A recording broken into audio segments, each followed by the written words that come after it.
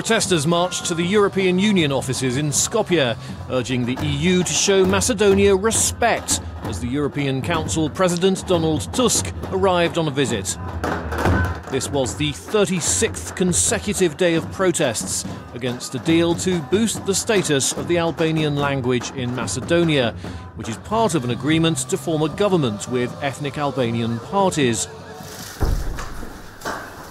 Elsewhere in Skopje, Tusk met Macedonian President Gjorge Ivanov, who opposes the deal and has refused to appoint the government.